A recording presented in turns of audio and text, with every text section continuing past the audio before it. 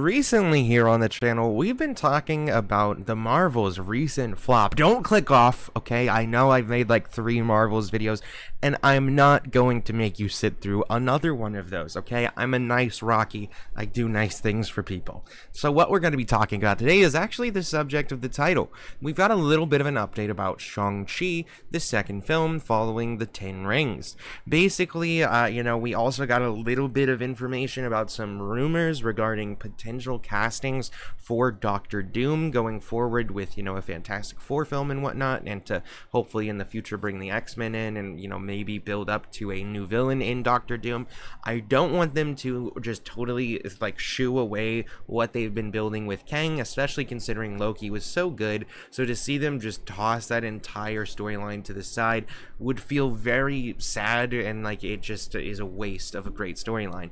But uh, generally speaking, I think Cillian will would look really good for the role. He is a little bit skinnier than I would imagine Doom. Like my friend uh, kind of mentioned, I picture him not like as a big dude or like a stocky dude or even a buff dude, but just kind of like a, a little bit more normal looking dude. Cillian looks a little bit like a, a, Skeletor, and listen, that's fine. It's one of his best features actually. But I, I would be interested to see like what he would look like a little bulked up for this film. Uh, besides that, however, uh, you know, we still don't know if they're going to be moving away from Kang because of you know the recent issues with the uh, uh, fuck how Jonathan Majors. I don't know how I forgot his name for a moment. Uh, and we also really don't know when we're getting a Fantastic Four film, if we're getting one, when we're going to be getting the you know X Men, uh, you know coming in. We do know, of course, that in the Deadpool three movie we're going to be getting Wolverine, which is going to be the first official tie-in with Marvel and the overall X Men universe. So that will be fun. But there's a lot just still left to the unknown of what direction they're going to go for which stories and how exactly they're going to do it. Now, in the middle of all that, we've had some of the other characters that they've been trying to build up. For example, we had the Falcon and Winter Soldier show, which kind of showed his moval Falcon's, you know, moving from the position that he was in over to the Captain America position, and the entire situation in that show was just absolutely atrocious. Like it was terrible acting, terribly written. I it, I was so stunned that Twisted Metal was decent because of how bad Anthony Mackie was in that and how bad the damn script was for that. Although I know the script isn't his problem.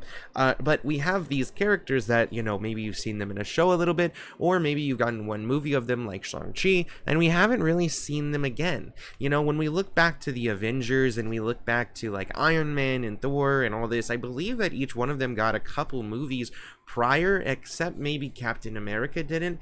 Uh, generally speaking, though, that way you could get a little bit more feel for this world, for these characters that they're trying to build, their backstories, what makes them tick, you know, what they love, what they hate, etc. And that's what makes it so unique and special when you finally get to the large crossover films. You have a fully fleshed out character who, on their own, is already great, and so then you hope that by mixing them all together, you get something greater than even the sum of their parts combined. Generally, personally, I think that that kind of hype worked for the couple first couple Avengers films, all the way even through Endgame. But we haven't gotten in another uh, Avengers film yet, and it just all feels very hollow. It feels like a lot of what we've seen in these various films very much felt like just kind of filler in the MCU to keep things being pumped out. And I think that has a lot to do with the fact that they just started making all of these low tier shows.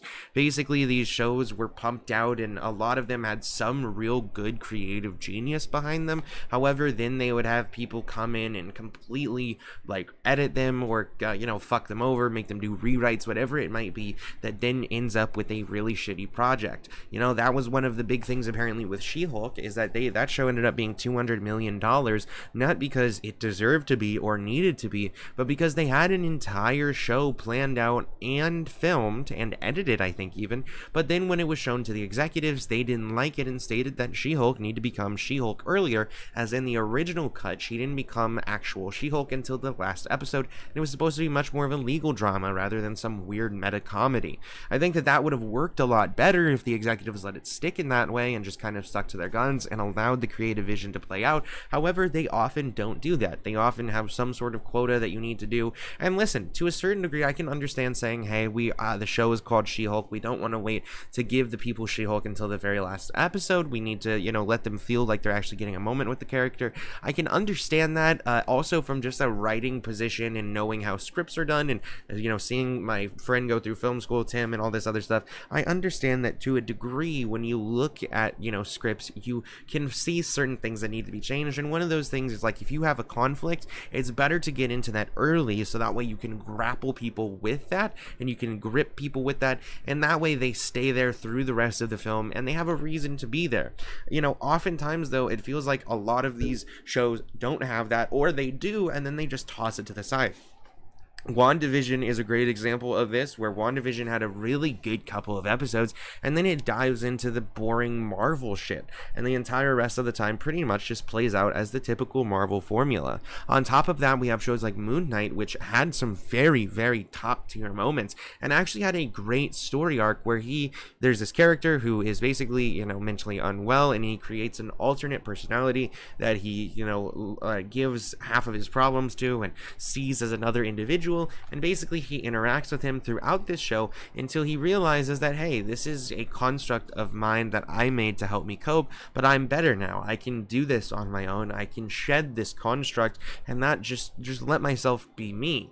However, and, and, and listen, this is a great message. That's a perfect message. Like overall, the idea is that obviously if you have a mental, like mental issue like that, you can't just get rid of it usually, and that sucks, you know, you have to take medication, all that is terrible. But the idea to choose to be better and to choose to shed things that you no longer need that were coping mechanisms is always a healthy and important thing to do. However, then for some reason, the next episode, they bring the fucking uh, construct right back and they say, no, it's good for him to have this childish mindset of keeping and holding on to absolutely everything, and they actually need each other. It's teamwork. Once again, as always with Disney, that makes the fucking thing happen, I guess. It was very stupid, and again, these are the types of things that make me see that Marvel has a lot of potential in some ways, but has been just throwing a lot of filler out there because they refuse to let anybody actually do anything great with the story. The first time that they've been able to do so has been Loki season 1 and 2. Loki season 1 and 2 felt like a completely coherent thought out from front to back. They knew in season one what was going to happen in season two type film uh, or type series that absolutely just was a masterpiece from front to back. Had so much thematic elements, had so much character growth, was just a, a lovely character dive into everything we knew about Loki and everything we knew about Marvel. I would love to see more of that, but we just haven't been getting it. I think Shang-Chi, though, in my own personal opinion, I know other people disagree with me, I thought it was very good. I thought Shang-Chi was one of the ones that had a good amount of really interesting, um, you know, some storytelling that was interesting, but a lot of the storytelling was fairly traditional. What I really enjoyed was the merging of traditional with, uh, you know, uh, like new age storytelling, where basically we have this Marvel film, but they also utilized various things like this imagery of this dragon, uh, you know, comes in towards the end of the film where basically it's his family dragon on his mother's side that blows the the bubbles or whatever into the you know the sun, and the bubbles seem to represent the father's side, and it's almost a situation where like he, even though his father is evil, he has to come through and pull together the best parts of both sides in order to do something great and overcome the evil that his father has succumbed to. Like these are fucking amazing story beats that we had just top tier imagery all through and through, especially in the end fight. Uh, so generally speaking, I loved the movie. So, I, but again, I know a lot of people didn't get uh, like look at it in that way. So if you guys, you know, are interested in Shang-Chi 2, I'm definitely curious to hear if you are or not. But generally speaking, I'm sorry I've been rambling this entire time about the current state of the MCU, but we are uh, uh, basically got a slight update stating that Awkwafina has come out and said that there is an idea going forward on how to bring the characters back, basically teasing that she will be returning to the MCU in the future. The current theory is that we're going to be getting it potentially in between like Secret Wars and the Kang Dynasty movie, and so they're thinking that somewhere around the end of 2026 might be when we're going to get it. You know, we'll start getting a little bit more information on the story aspects and other pieces of it, but I do think that this is a necessary thing to do if we want Shang-Chi to be a real serious player in any future Avengers movie. I enjoy the character, like I said, and so for for the most part, as lo- as long as they continue to do it right, I- I'll be happy to see this one. I definitely am going to be seeing Deadpool, um, but otherwise, like uh, you know, there's not very many Marvel movies I'm that excited about. You know, I'm curious to see if they stick with the Kang thing. I'm hoping that they allow that to be as cool as it can be. But what do you guys think? Are you guys interested in Shang Chi too? Are you not interested at all with the current state of the MCU? Besides that, uh, you know, let me know anything else that you uh, think about the current state of the MCU yourselves. I know we've been having some good conversations uh, in the comments, so thank you guys so much for doing so. On top of that, you can follow us here for more movie news and reviews. You can follow us on movie sessions for trailer content, smoking sessions here, movie news and reviews. I already said that. Uh, you can follow us over on gaming sessions for gaming content and the Tri-Podcast for our podcast channel. All right, guys, I'll see you all in the next one.